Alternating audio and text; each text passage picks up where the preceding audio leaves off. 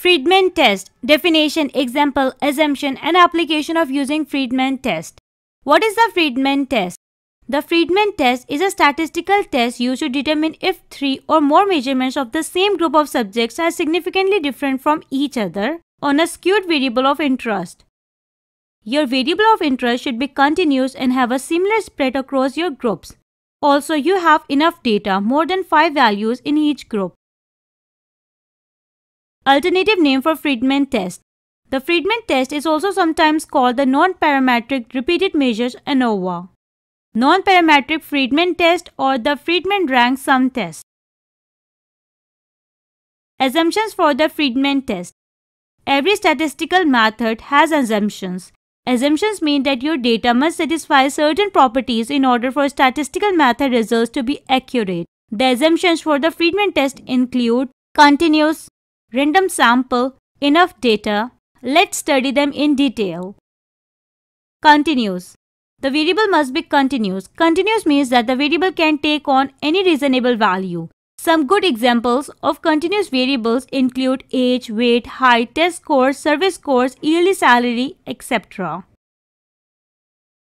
Random sample. The data points for each group in your analysis must have come from a simple random sample. This means that if you wanted to see if drinking sugary soda makes you gain weight, you would need to randomly select a group of soda drinkers for your soda drinker group.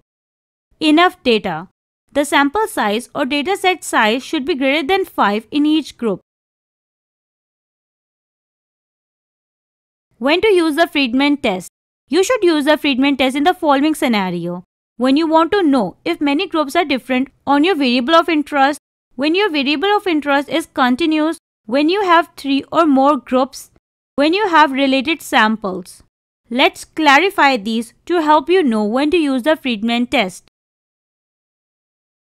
Difference You are looking for a statistical test to see whether three or more groups are significantly different on your variable of interest.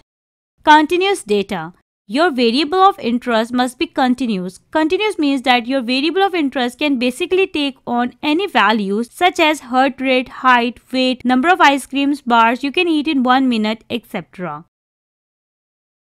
Three or more groups. The Friedman test can be used to compare three or more related groups on your variable of interest. Related samples. Related samples means that you have repeated measures from the same units of observation. For example, if you have a group of men undergoing a treatment and you measure their cholesterol level at 3 points, then you have 3 groups of related data. Friedman test example Scenario a random sample of men undergo an exercise program. Repeated measures. Data were collected at month 1, 2 and 3. Variable of interest cholesterol levels.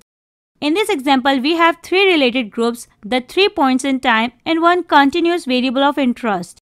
After investigating our data, we determine our variable of interest cholesterol level is positively skewed so we know to perform the Friedman test.